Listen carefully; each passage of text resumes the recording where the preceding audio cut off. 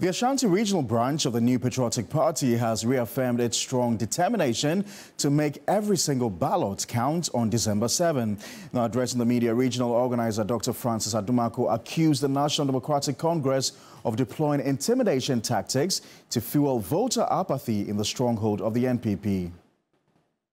Every form of crude tactics and intimidation will be opposed fiercely.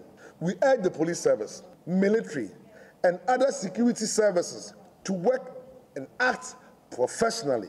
We also urge the electoral officers to work professionally, not in any way that will create rejected ballot or compromise any votes.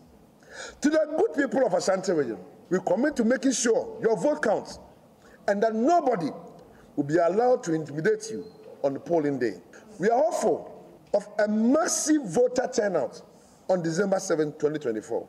And the margin of victory for Dr. Mahamudu Bawumia will be wide and huge. We wish to call on all party supporters to be vigilant before, during, and the voting process afterwards. If possible, do not go home after the voting.